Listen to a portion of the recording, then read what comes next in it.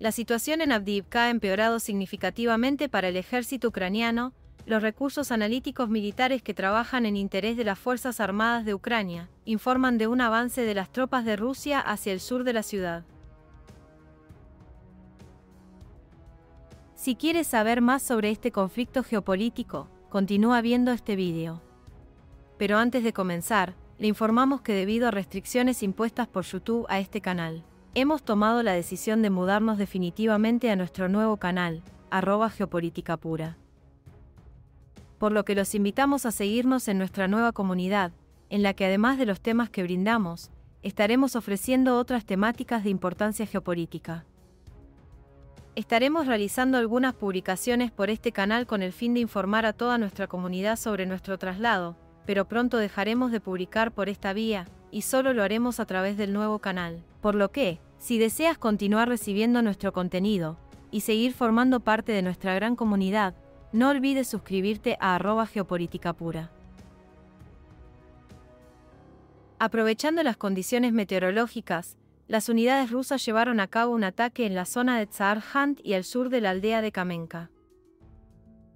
Mientras que la situación cerca de Kamenka sigue bajo el control de las formaciones ucranianas, en el sur de Abdivka la situación se ha salido de control para las Fuerzas Armadas de Ucrania las tropas rusas continúan las operaciones de asalto en la parte sur de la ciudad, en la zona de Pervomaisky, Estepovoye, al sur y suroeste de las instalaciones de tratamiento, en la estación Ibuska 2 y en la zona de la estación Dubrava. Y están llevando a cabo con éxito operaciones de asalto en la estación de Dubrava y en la zona de la parada ferroviaria del kilómetro 450 en dirección a la calle Sobornaya.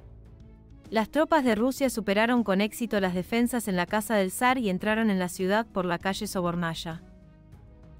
Se observa que están tratando de afianzarse en esta zona y las Fuerzas Armadas de Ucrania no pueden ignorar ni restar importancia a esta situación, reconociendo el fracaso de su defensa.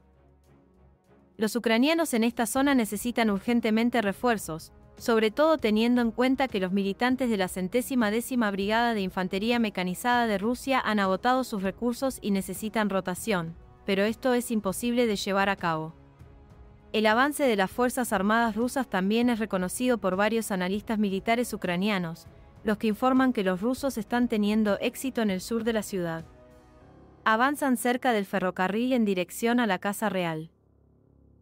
En la estación de Dubrava, las tropas rusas avanzaron desde el área de la estación de Vinogradniki en un área de hasta 450 metros de ancho hasta una profundidad de 140 metros. Los recursos ucranianos también informan que los rusos tuvieron éxitos tácticos, hasta 150 metros de avance, en Pervomaisky y Stepovy.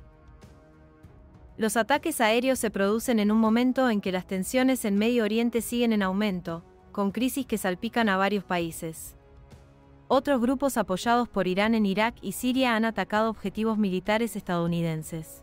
27 ataques en las zonas de Novokalinovoe, Novovasmutovka, Abdevka y otros 17 ataques cerca Pervomaiskoye y Nevelskoye. Los expertos creen que la etapa actual es el verdadero comienzo de la batalla por Abdivka, que durante mucho tiempo ha estado bajo el control de las Fuerzas Armadas de Ucrania.